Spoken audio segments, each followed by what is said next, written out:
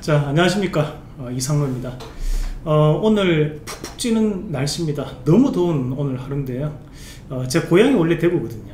어, 저도 이제 더위에 어느 정도 좀 익숙하다 생각을 하는데 야 이 서울도 많이 덥습니다. 아, 상당히 덥고. 오늘 이런 찌는 듯한 더위에서 시장은 또 상당히 상승폭을 좀 기록하면서 또 좋은 모습을 좀 보여주었습니다. 어, 뒤에 이제 화면에 오늘 시장에 대한 움직임 나오는데요. 어, 그만큼 이제 오늘 시장 자체가 상당히 강세를 좀 보이면서 코스피, 코스닥 양시장 모두 다 시총 상위 종목군들이 상당한 상승세를 이끌면서 시장을 이끄는 그런 모습을 보여주었고 그 탄력적인 움직임에서 가장 중요한 역할을 했던 것이 바로 외국인들이죠. 외국인들이 코스피에서도 그렇고 코스닥에서도 그렇고 상당한 매수세를 입하면서 시장을 좀 이끄는 그런 모습을 나타냈습니다 자 어, 코스피 같은 경우에는 어, 제가 판단했을 땐 여전히 개별주가 좀 더 우위에 설 수 있는 그런 움직임이 나올 가능성이 높다라고 보는 시각이고요.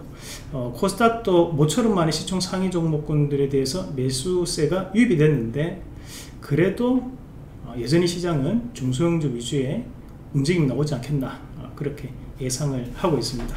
자 지금 시점에서 중요한 것이 바로 이 실적이라든지 어, 또는 정치 테마주에 대한 순환매 그리고 어, 좀 더 바뀔 수 있는 재료 일정을 가지고 있는 그런 종목군들이 될 수 있는데 어, 특히 기간의 수급을 저는 좀 더 중요하게 보고 있습니다. 그래서 그런 종목군들에 대한 부분 오늘은 목요일입니다.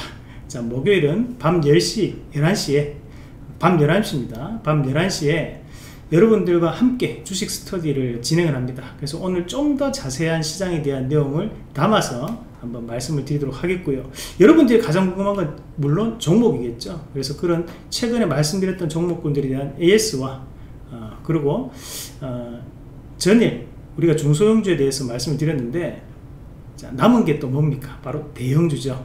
자 이 대형주를 좀 더 봐야 되는 종목군도 한번 같이 이 주식 스터디 시간에 한번 풀어서 말씀을 드리도록 하겠습니다.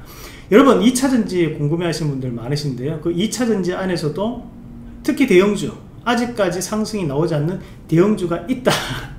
그래서 그런 종목군들도 함께 풀어 가지고 여러분들이 궁금해 하시는 내용도 속 시원하게 자 날씨는 덥지만 주식은 시원하게 한번 풀어보도록 하겠습니다.